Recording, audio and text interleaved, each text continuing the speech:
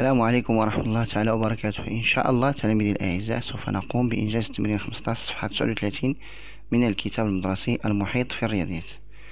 إذا في هذا التمرين طلب منا أن نحسب أ بحيث إكس تساوي جذر مربع 2 ناقص 1 هذا يعني أن أينما وجدت إكس في التعبير أ في التعبير أ سوف نقوم بتعويض آه، المجهول إكس بجذر 2 ناقص 1 إذا لدينا أ تساوي إكس زائد واحد لكل أس اثنان عامل ثلاثة إكس ناقص اثنان ها عامل سبعة إكس ناقص أربعة.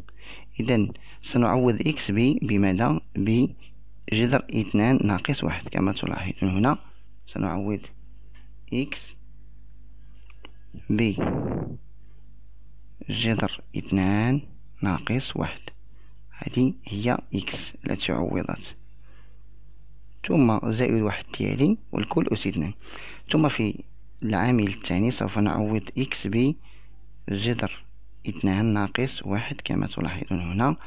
إذا ستصبح ثلاثة عامل جذر اثنان ناقص واحد. ناقص اثنان خلاص ناقص اثنان سأحطها هنا. ثم سأعوض إكس هنا ب جذر اثنان ناقص واحد. فتعطينا سبعة عامل جذر اثنان ناقص واحد ناقص أربعة. ثم بعد ذلك سأقوم بالحساب. عندنا ناقص واحد زائد واحد. عددا متقابلا ستعطي صفر إذا ستبقى جذر مربع اثنان. الكل أس اثنان ستبقى جذر مربع اثنان الكل أس اثنان ها هي. ثم هنا سوف أنشر ثلاثة عامل جذر اثنان. ها هي. وثلاثة عامل ناقص واحد تساوي ناقص ثلاثة. ثم ناقص اثنان ديال. ثم سأنشر هنا كذلك سبعة عامل جذر اثنان وسبعة عامل ناقص واحد يساوي ناقص سبعة. ثم ناقص أربعة ديال. بعد ذلك سأقوم بتتمة الحساب. لدينا جذر مربع اثنان لكل اثنان يساوي اثنان. جذر مربع اثنان لكل أس اثنان يساوي اثنان كيمشي الأس اثنان مع الجذر مربع تبقى اثنان؟ ثم ثلاثة جذر مربع اثنان هي وناقص ثلاثة ناقص اثنان يساوي ناقص خمسة وسبعة جذر اثنان هي وناقص سبعة ناقص أربعة يساوي ناقص إحدى عشر. بعد ذلك سأقوم بالنشر هنا في هذه العملية. نمشي وحدة وحدة منزربش اثنان عامل ثلاثة يساوي ستة جذر مربع اثنان. واثنان عامل ناقص خمسة يساوي ناقص عشرة بين قوسين ثم سأترك هذه الكتابة كما هي. ثم بعد ذلك سأقوم بالنشر هنا.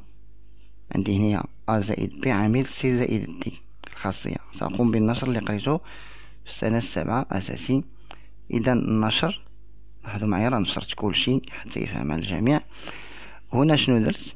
ستة جذر مربع اثنان عامل سبعة جذر اثنان. إذا ضربت ستة في سبعة العدد اللي ما فيهش الجذر مربع في العدد اللي ما فيهش الجذر مربع ثم الجذر مربع في الجذر مربع. حتى أطبق قواعد الجذور المربعة وقواعد الأعداد الحقيقية أو الأعداد الصحيحة. ثم ستة عامل ناقص إحدى عشر وجذر مربع اثنان ديالي هنا ستة في ناقص يعطي ناقص. وناقص عشرة ثم أنشرها مع سبعة جذر اثنان. لاحظوا معايا ناقص في زائد ثم ناقص في ناقص هنا ناقص عشرة ناقص إحدى عشر تعطي زا زائد. ها؟ ناقص في ناقص يعطي زائد. ثم عشرة في إحدى عشر. ثم بعد ذلك سيقوم بالحساب. ستة عامل سبعة يساوي اثنان وأربعون. جذر مربع اثنان عامل جذر مربع اثنان يساوي جذر مربع اثنان أس اثنان ناقص ستة في إحدى عشر يساوي ستة وستون جذر مربع اثنان.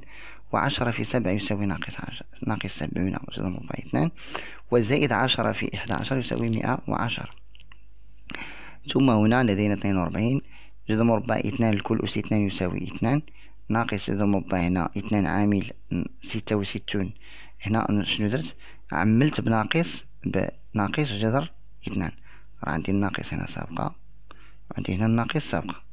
إذا عملت بين ناقص جذر مربع اثنان عامل ستة وستون زائد سبعون. هذا بالنسبة باش يمكن لي نحسب بسرعة. زائد مئة وعشرة ديالي ثم بعد ذلك اثنان وأربعون في اثنان يساوي أربعة وثمانون. وجذر مربع اثنان ستة وستون زائد سبعون هي مئة وستة وثلاثون. جذر مربع اثنان ديالي منساهاش كاين كتير ديال التلاميذ كيحسب لهم يساوي الجذر زائد مئة وعشرة. يساوي ناقص تنسبق الجذور مربعات موراها العدد الصحيح. ناقص مئة وستة وثلاثون جذر اثنان زائد مئة وأربعة وتسعون. مئة وأربعة وتسعون هي مئة وعشرة زائد أربعة وثمانون. هكذا سأكون قد أنجزت التمرين. قلت التمرين عفوا التمرين خمسطاش صفحة ثلاثين من الكتاب المدرسي المحيط في الرياضيات. تابعونا على القناة. حاولوا تبارطاجيو التمارين اللي كتشاهدوها على قناة اليوتيوب مع الزملاء ديالكم والزميلات حتى تعم الفائدة إن شاء الله تعالى. والسلام عليكم ورحمة الله تعالى وبركاته.